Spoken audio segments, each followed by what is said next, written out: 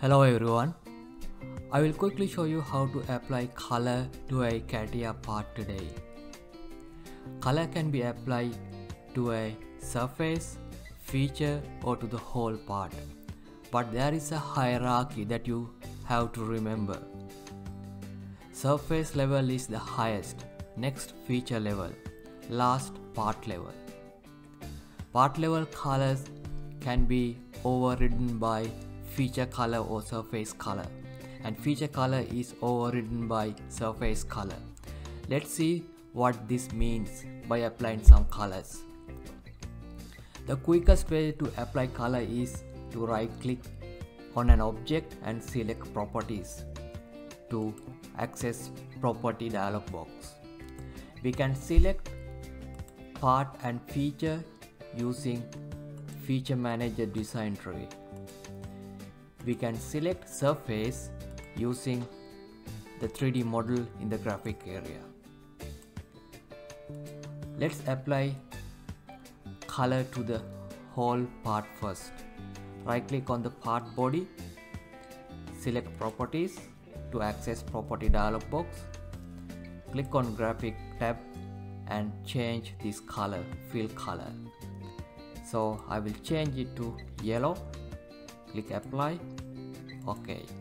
Now you can see the whole part is changed. The every object inside this part body has changed its, its color. Let's apply some color to some features. Uh, select uh, stiffener feature right click. Select properties under graphic tab, select the color you want. I will select blue color, click apply, click OK. Now you can see the stiffener feature color is changed. The part color is overridden by feature color. Let's apply color to a another feature. Right click on hole feature, go to properties. Under graphic tab, select the color you want and click apply click OK. Now you can see the hole feature color is changed. Let's apply color to a surface. Click on this surface, right click, go to properties, under graphic tab, select the color you want. I will select this color and apply, click OK. The surface color is changed. The part color is overridden by surface color. Let's select this surface, right click, go to properties, change the color you want. Click apply, click OK.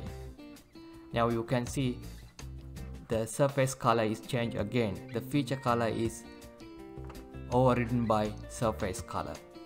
You can always remove the applied color by undoing the command pressing Ctrl Z. And also, you can change the existing color by repeating the same procedure.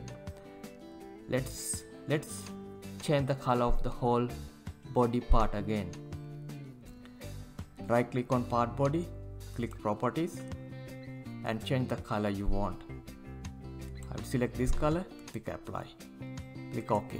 Now you can see the whole body part color is changed except the features and surfaces that I have already applied the color. I hope this is useful and thank you for watching.